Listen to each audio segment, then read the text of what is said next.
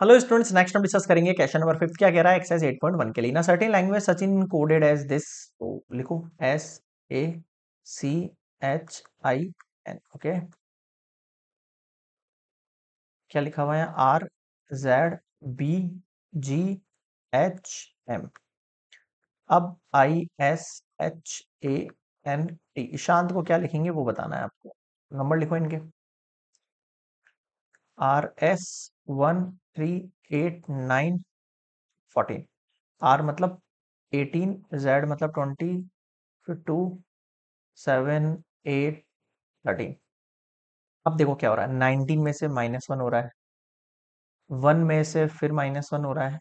Three में से फिर माइनस वन हो रहा है। एट में से फिर माइनस वन हो रहा है। नाइन में से फिर माइनस वन हो रहा है। फोर्टीन में से माइनस वन हम भी यही करेंगे। इनसे जस्ट पीछे वाले नंबर लिख दो।